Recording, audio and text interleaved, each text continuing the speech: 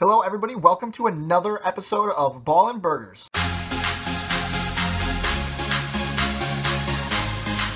So today, in honor of Star Wars still, I'm still on that Star Wars hype, I'm to kind of touch a little bit on Battlefront. Star Wars Battlefront was a big, hyped up game for everybody just because the fact that there's a new Star Wars movie coming out. So everybody was really excited and everybody loved the original Battlefront games. There was so much going for them that was great.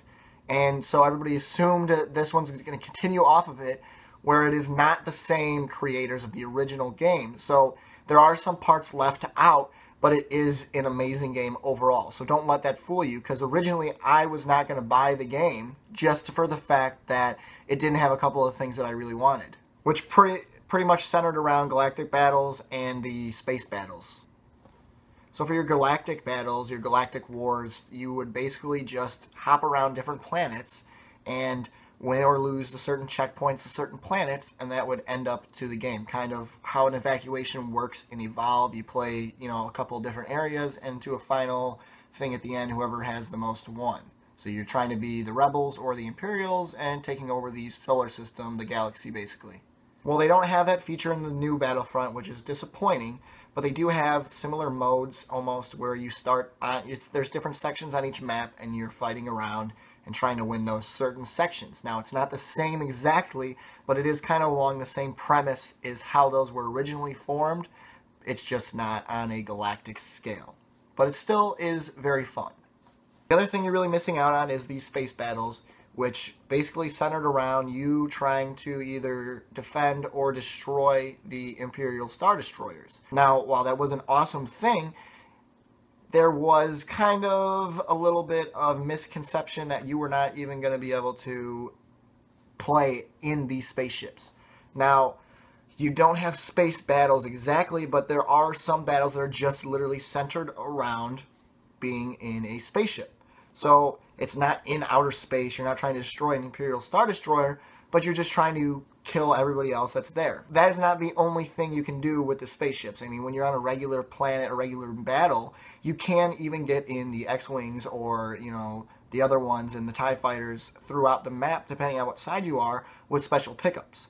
There are some special pickups laying around where you can get your heroes or special weapons, and one of them happens to be the spaceships. So you run over that you can deploy it and you're flying around the whole time until your spaceship gets destroyed. Now, that doesn't really center around, again, a space battle, but you do get to use the spaceships in actual battle besides specifically designated maps for it. So that is kind of an interesting thing. There are quite a plethora of vehicles that you get to, you know, ride around on, which actually makes up for a lot of the fact that they don't have space battles. So it kind of, you know, there's certain things in the game that you wish they had that they don't and there's other ones that you never even would have imagined having and you get that. So there's you know there's pros and cons to this new one and I definitely think that it's worth checking out. It is a lot of fun. They have a, a special thing called the hero battles where you know I know the other ones where if you did good enough you could become one of the heroes. But now you can, like again, it's another special pickup. You can get that if you find it, which is pretty nice because what if I'm, you know, just terrible at the game and I really want to play as Luke Skywalker? Well, if I happen across it, I get to play as him until I die. The other, what I was saying is before, is the hero battle is basically there's three heroes on each side in the entire game. So basically, you and two other buddies can decide, you know what, I really want to be on the Sith side today.